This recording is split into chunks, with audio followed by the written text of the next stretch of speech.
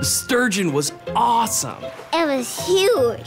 It just swam by and touched my fingertips. We took the kids to the show, and they absolutely love the dolphins and penguins. Who doesn't love penguins? Dolphins jump really high. They come down, they go splash.